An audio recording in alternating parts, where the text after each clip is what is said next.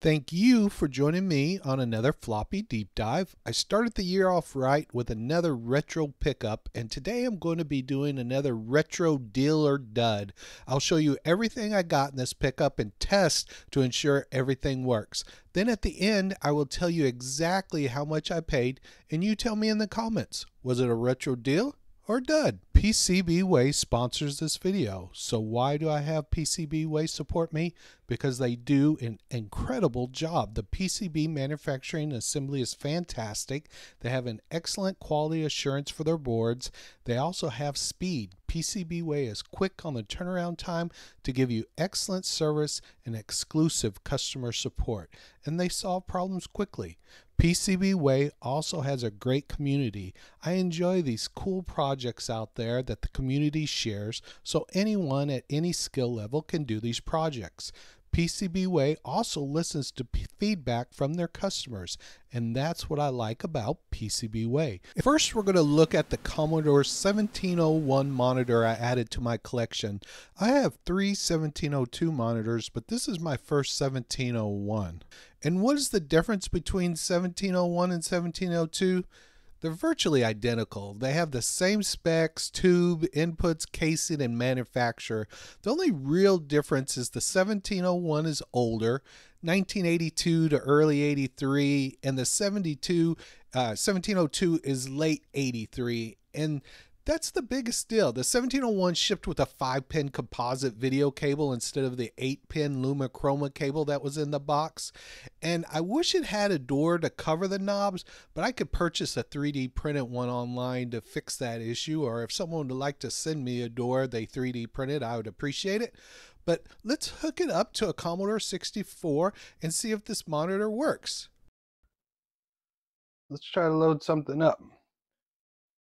Got some flickering to it. Let's try some game on it. See if the sound works on it. Well, it sounds like the sound works just fine. This is an original way of exploding fists, not a cracked copy like most of you all have seen. UXB released it here in the United States. Nice colors. Everything looks really good on that screen.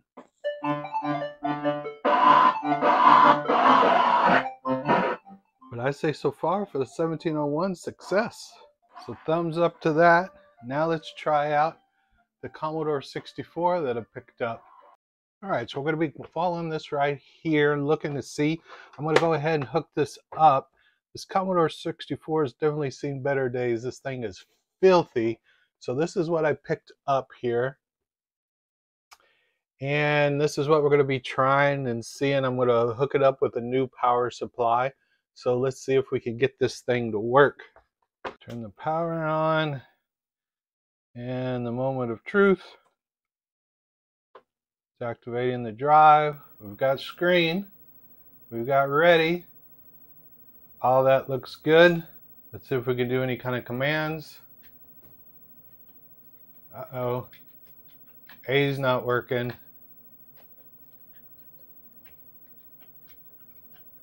Keyboard is not working all the way. So something's going on. It's a hit and miss with this keyboard. But definitely the one, no matter how many times I hit it, is not working. Two, one, two, three. Just isn't working. A working a little bit better got to be some dirtiness in there. We're going to have to open up this, probably check out the keyboard. But luckily, I have a bunch of Commodore 64 keyboards. So let's try it off another keyboard and see if it works. But first, let's open this up just to see what's inside and just see how dirty it is. But they did a little tweak on it. See the red button on there? That's just a reset button it looks like that they put on this keyboard built into it, which is actually a really good idea. I always hate it switching it off and on, but it's just a little red reset. So let's see if I see anything when I open this up. Hmm. I see that the shift key here isn't soldered on and it's disconnected. The shift lock. Uh, I definitely need to get in there and look. I'm sure this has been worked on a lot since it's had tweaks done to it. But what I'm going to do is just take this keyboard off and go grab me another keyboard and see if it's just this keyboard or something with the chips or see what it is. So let's test it with a different one. So let's look in here, give it a look at my PCB. Here's where the reset mod is going in. Some of the memories that are socketed that looks like they've replaced. Few of the other ones that are socketed. But I'm going to try a different keyboard on here and see if that fixes the problem. So I grabbed another keyboard off another Commodore. This is the one that I picked up the other day that the memory was bad in it and I've yet to fix it. So I'm taking that keyboard top and I'm just going to see if I can attach this one on here. If it's just the keyboard that's messed up or maybe a chip or something and we'll go from there. So let me get this all plugged in here. All right, so I've got this other keyboard on top of here. This case isn't fitting it perfectly like the other one did, but I'm going to turn this on and let's see if everything works. So it's definitely just the keyboard on that Commodore 64 that's messed up because this keyboard's working perfectly. Let's try to load up a game on here. So everything is working perfectly on this Commodore 64. So the only thing that I'll need to update is just figure out what's wrong with that keyboard and maybe that's another video. But with the right keyboard on top this everything seems to be working games load up everything's playing.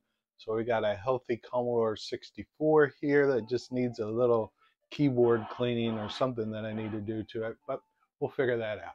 So another item that I picked up in this is uh, the 1541 drive and just like everything else that came it is just completely filthy and gross.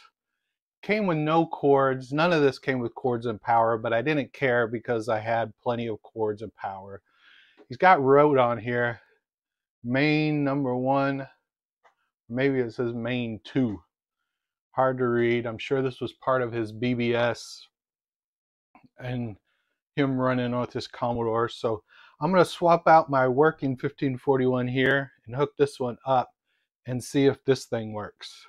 So everything came on, but while testing it, I it was having trouble reading the floppy. I got a directory, partial directories, and then when I went to load a file, it would just bang the head. So I decided I'm just going to open it up and see if the head's dirty and clean it. And yeah, that head is filthy, just filthy. So we're going to clean that. I need to go get me some Q-tips and alcohol.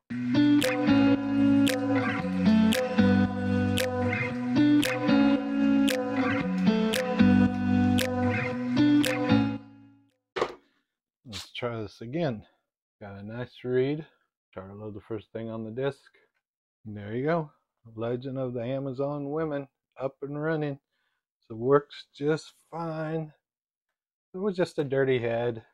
So all the hardware pieces that I got in this pickup works perfectly uh, for the age. Well, besides this keyboard part, but that's an easy fix. Like I said, I have extra keyboard top anyway of different Commodores. So everything chip wise, when I those all work, I'm uh, happy with that. Nothing that I have to fix there. We'll see what we can do on the keyboard, clean it all up. But the drive with just a dirty head. This here, obviously I'm going to get the door and replace it, but happy. The screen looks good. Everything looks good on there. The sound plays just fine. So this 1701 is working. My Commodore 64 is working and my 1541 is working. So let's look at the different software that I picked up. So this is what really caught my eye when I saw this collection. Uh, I didn't have Red Storm Rising and the box looks really good shape for the original and it had MicroProse on there. And so this was just a huge bonus to get this included with this three pieces of hardware that I picked up. And I'll show you everything that's in there. It has the original floppy that came with it. Also has the um, product guide, the manual, basically everything that was included in here has the keyboard overlay that came with the game to make it a little bit easier with the commands included the manual that comes with it and also it had of course most important thing the floppy now we got to test this floppy and see if it works or not and we'll be doing that too to make sure that this game even comes on so i'm going to keep that out so we could try it out on our new hardware.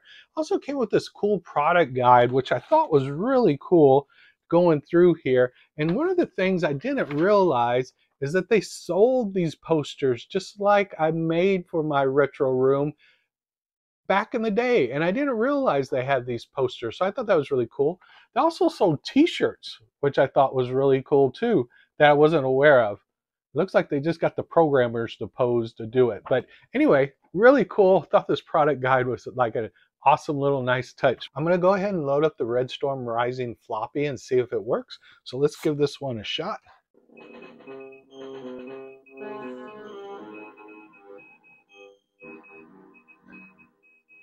And it actually looks great.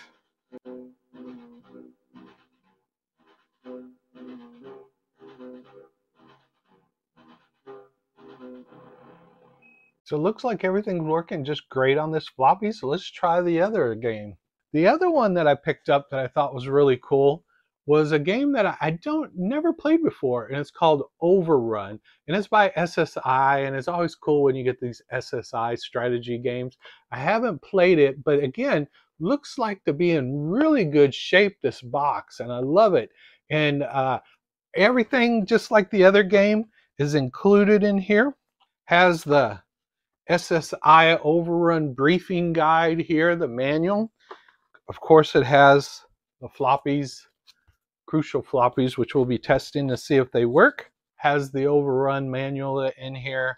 And again, another catalog for the SSI games. Perfect. We got two cool original games still in their boxes, got the hardware. Everything seems to be working just fine.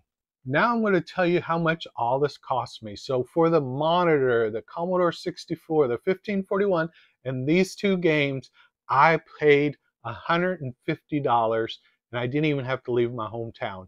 I actually just met them right here in my hometown for $150 i got all that and i think that's just a steal i've seen where some people's paid $100 just for the monitor itself are just for the Commodore 64, or, and then just to have everything, and then throw in the bonuses of these two games complete in the box, just a sweet, sweet deal. It's a pretty sweet deal, right? So you tell me down in comments, was it a retro deal or dud? So don't stop there. YouTube will recommend more videos. Check out those two for, for more retro goodness.